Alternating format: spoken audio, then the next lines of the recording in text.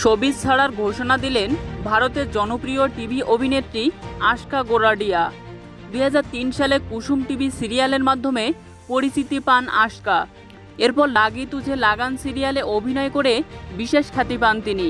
নাগিন ও ডায়ান সহ অনেক জনপ্রিয় ধারাবাহিক নাটকে অভিনয় করেন তিনি।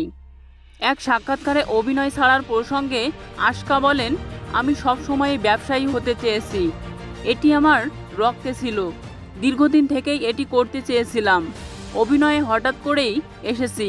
মাত্র ষোলো বছর বয়সে মুম্বাইয়ে এসেছি। কিন্তু অভিনয় শুরুর পরও আমার মধ্যে ব্যবসা করার ভাইরাস ছিল। কিছু একটা করতে চাইতাম এবং অবশেষে এটি হতে যাচ্ছে। সবাইকে জানাতে চাই, অভিনয় থেকে আপাতত বিরতি নিচ্ছি এবং নিজের স্বপ্ন অর্জন করতে যাচ্ছি। ভবিষ্যতে সবিজে ফেরার ইচ্ছা রয়েছে কিনা এমন প্রশ্ন হলে তিনি বলেন, এখন যদি বলি তাহলে একেবারেই যাচ্ছি। এটি সাময়িক নাকি স্থায়ী, তা সময়ই বলে দেবে।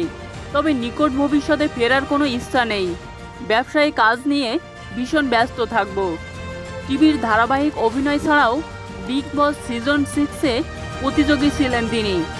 সেই সময় তাকে নিয়ে বেশ আলোচনাও হয়। দু হাজার সতেরো সালে ব্রেন্ট গোবলকে বিয়ে করেন এই অভিনেত্রী। পরবর্তী সময়ে নাচ বালিয়ে সিজন এইটে প্রতিযোগী হিসেবে হাজির হন তারা।